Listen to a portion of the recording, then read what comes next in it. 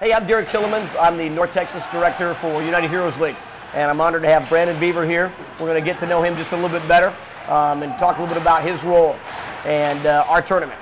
So, Brandon, um, what can you tell us about, you know, please introduce ourselves to you and your role with uh, USA Hockey, please. So, my name is Brandon Beaver. I am the manager of Disabled Hockey and the manager of the U.S. National Development Teams, sled teams for USA Hockey. Awesome. And can you tell us a little about your background and how you got that role Yes. and like your duties and responsibilities as an ambassador, please? Sure. So, uh, I spent 16 years in the U.S. Army, um, disabled veteran, Purple Heart recipient. Uh, took on the USA Hockey job. I've played in uh, in Warrior Hockey for quite a few years.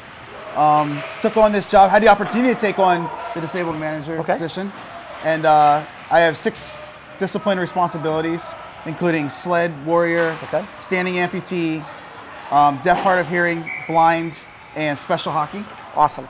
So I manage and oversee all of them, the classics, all the national Okay. championships for, for those events. Keeps you busy? Keeps me busy. A lot of traveling, definitely busy a lot. so- Awesome. Well, and, and again, you know that we're a military tournament down here at uh, United Heroes League, DFW Armed Forces NyTex Classic.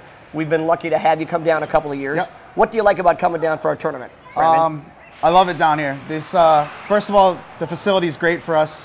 Um, the area, we, uh, we have a blast. I tell our guys back in Colorado with our Warrior team, Uh-huh. every year I've tried to get a few more guys every single time, a few more players. I think this year we had the most. I think we had nine come down this year, or Yeah. eight come down. So the goal is for us is every every two years come down, and I tell them it's my favorite tournament of the year because it's just a blast. Everybody has a blast out here. Um, there's no pressure on it. You just go out, you have fun. You win, you lose, play hockey, you have a good time. Very So- good. Well, and you know our mission is to raise Yes. money for military families to play sports. How can we complement your role and your mission with USA Hockey, and how can we continue to kind of grow together in any way, shape, or form from your perspective? So, with in my position at USA Hockey, I'm always looking for to fill in and help out in anywhere we can that's associated with my with the, with yeah. uh, my role. So anything that I can do or USA Hockey can do, we're willing and ready to go.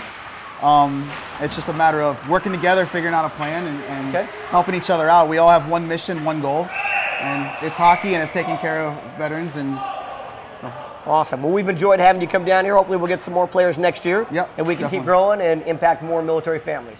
Brandon, thank you very much Yeah. for being our guest. thank you. All right. Thank Appreciate you for everything you do. Thank you all.